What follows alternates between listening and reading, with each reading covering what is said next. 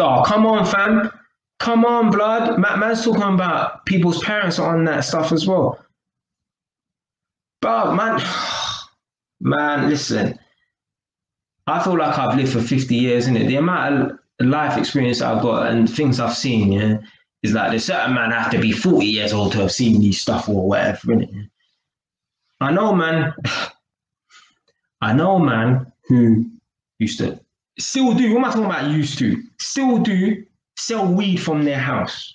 Yeah, man are selling weed from their house. Yeah, man are man are cutting up fucking cues and man are cutting up nine bars in their kitchen. Yeah, look, they ain't no hard drugs, they ain't crack or heroin, but man are cutting up nine bars. Man are cutting up cues and shit. Yeah, of Thai weed, weed. Yeah. On their fucking chopping board with a fucking yeah a knife yeah boom a man's son has now jumped on selling weed. Yeah, right. A man's a man's son selling weed. Then a man's son started selling crack and heroin and that. Yeah. Then a man's son goes to jail. Yeah. And when the man's son's about to come out of jail, the man is saying, I hope he stays on the right path when he comes out of jail. So hold on a minute, fam.